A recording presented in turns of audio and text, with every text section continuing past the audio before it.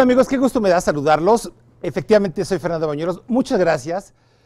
Un verdadero placer estar aquí con ustedes en nuestro espacio, tu espacio consentido. Felices fiestas patrias, antes que nada. Y mire usted, para no desentonar, hoy le vamos a dar una recuperación histórica, la arqueología del filme, del cine mexicano en torno a un proceso histórico que es el Grito de Dolores y la independencia de México las películas más importantes, las más representativas, las que han marcado la pauta y que evidentemente han respondido al contexto histórico, social y político en el que han sido filmadas. La verdad, eso es lo importante.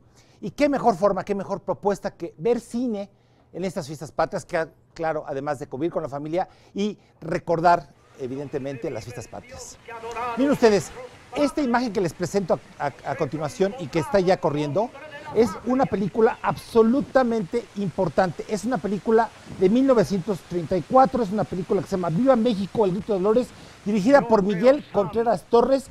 Y es la película más seria, más formal, más importante de un hombre que se dedicó toda su vida, todo su tiempo y toda su filmografía a recrear los fenómenos históricos y sociales. Sobre todo esto que le apasionaba, que era el movimiento independentista. Él era michoacano, la película está filmada en el contexto del momento en el que el general Lázaro Cárdenas, a la sazón su paisano, gana la presidencia de la República por el Partido Nacional Revolucionario. Entonces la película, a la vez que hace una parábola del buen pastor de San Juan, también pronuncia frases de Voltaire, este carismático y eh, importante Miguel Hidalgo y Costilla, que es un español que se llama Paco Martínez. La película también hace una propuesta en torno al plan sexenal. La película responde a su contexto histórico, a su contexto político y a su contexto social. Antes teníamos una imagen de 1907 que también era exclusiva para ustedes, pero mire, esta es muy importante. Se llama Viva México, el grito de Dolores, alma insurgente. La que sigue es muy importante, la dirige Julio Bracho y Julio Villarreal es el padre de la patria.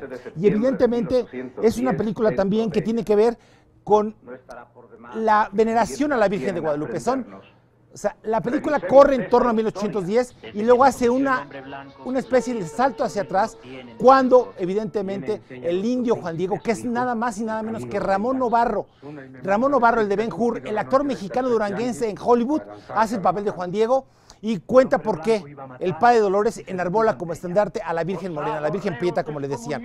La película no tiene desperdicio, tiene absolutamente un gran contexto histórico y se firma en el contexto también de la guerra de Alemania. Cuando México le declara la guerra al eje por el hundimiento de dos barcos, el Faja de Oro y el Potrero del Llano.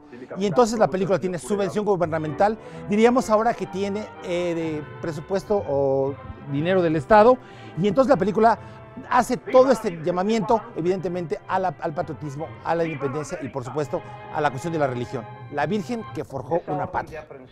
dictada por mi buen amigo el intendente Riaño. Seguimos con Don Miguel Contreras Torres, una película imprescindible, importante, trascendental, que es esta, El Padre Morelos, que por cierto está dirigida también por Miguel Contreras Torres y protagonizada por Domingo Soler. Que por cierto, esta película tiene una continuación de 1943 que se llama El Rayo del Sur. O sea, es la misma película, pero dividida en dos partes, como se usaba a la sazón filmar las películas en aquella época de oro del cine mexicano.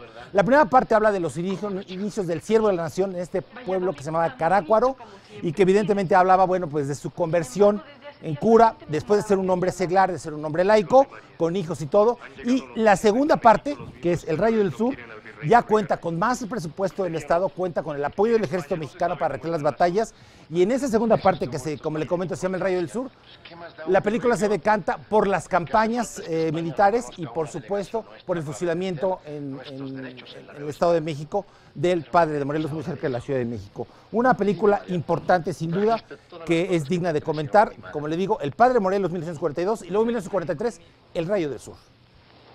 Antes de morir no hacía más que pronunciar tu nombre. Mire, en los años 70 hay una película que se llama Mina Vientos de Libertad que merece un análisis aparte porque no, no tanto aborda el fenómeno de la independencia, sino solamente de este, eh, de este vasco que vino a México y que terminó fusilado. Pero bueno, nos saltamos hasta el 2010 a la Comisión del Bicentenario la celebración de los 200 años de la independencia de México con esta película que fue así como el proyecto más de relumbrón, más importante y más sonado de ese 2010, que es Hidalgo, la historia jamás contada, protagonizada por Demian Bichir, dirigida por un señor que se llama Antonio Serrano Argüelles, de extracción teatral, y lo que hace es un poco leer a Jorge Ibargüengoy tiene una en un libro que se llama Los Pasos de López.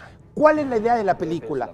Desmitificar al padre Hidalgo, bajarlo de la estatua, del pedestal, evidentemente acabar con la historia de bronce, y aquí vemos a Ana de la Reguera, Cecilia Suárez, Miguel Rodarte y Plutar Cuasa, de este hombre que era tremendamente humano y que en medio de esa humanidad, de ese enamoramiento, de esa diversión, de ese gusto por las vidas espirituosas, teje y cuaja la independencia de México. Esa es la propuesta de Antonio Serrano y es una película importantísima. Pero mire, así como le traíamos esta imagen original de 1907, le traemos esta otra película que es un hallazgo, es una gran película.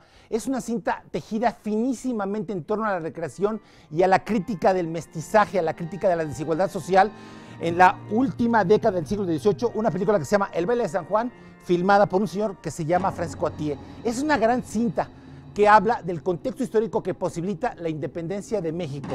No se la pierda, mire, búsquela, se llama El baile de San Juan. Bueno, mire, ya nada más, por último, una película por infantil que se llama Héroes Verdaderos. Y lógicamente, bueno, pues este, que también es una propuesta para niños. Amigos, qué gusto me da saludarlos. Felices fiestas patrias. Hasta pronto. homocinefilosblog.wordpress.com.